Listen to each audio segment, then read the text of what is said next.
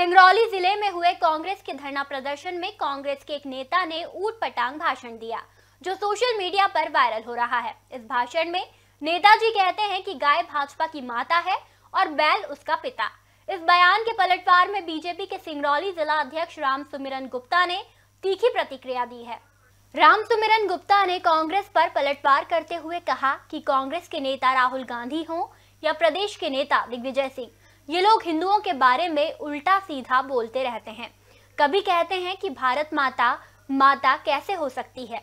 कभी कहते हैं कि गाय कैसे माता हो सकती है? उन्होंने कहा कि कांग्रेस के यही संस्कार हैं।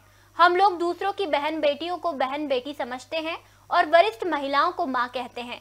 इसका ये मतलब नहीं कि जिनको हम माँ कहते हैं, उनके पति को हम पिता कहें। कांग्रेस के पास सब कुछ नहीं बचा सिवाय ऊट पटांग बयानबाजी के। क्योंकि देश की जनता कांग्रेस को सिरे से नकार चुकी है।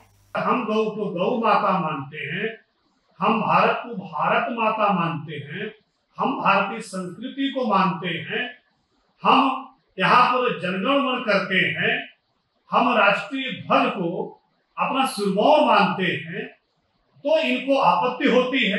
अब इनके ऐसे नेताओं को यह समझ में नहीं आता कि भारत माता को हम भारत माता क्यों कहते हैं?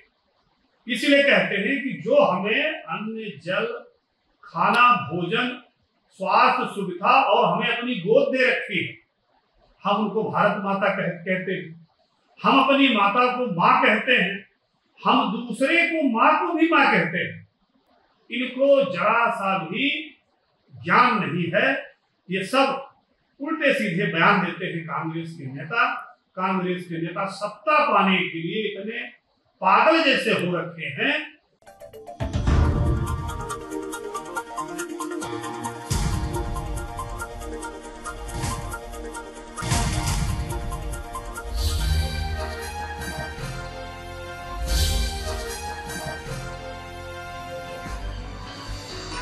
आप देख रहे हैं दखल न्यूज़।